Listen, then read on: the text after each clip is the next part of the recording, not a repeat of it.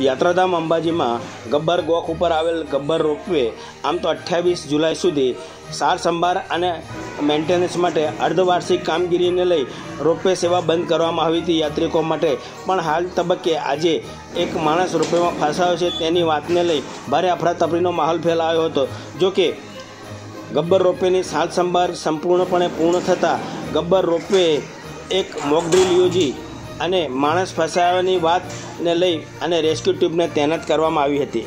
અને ગબ્બર રોપવેમાં ફસાયેલા વ્યક્તિને સફળતાપૂર્વક નીચે ઉતરવાની પ્રક્રિયા હાથ ધરવામાં આવી હતી. જોકે આ માણસ કોઈ યાત્રિક કે ફસાયો નહોતો, પણ સ્ટાફનો માણસ માત્ર એક ચકાસણી માટે રેસ્ક્યુ કરી એક મોક ડ્રીલ યોજવામાં આવી હતી. અને આ વ્યક્તિને સફળતા રીતે, સલામત રીતે નીચે ઉતારી નીચે ઉતર્યા બાદ તેને એક મોક ડ્રીલ જાહેર કરાતા લોકોમાં રાહતનો શ્વાસ લીધો હતો.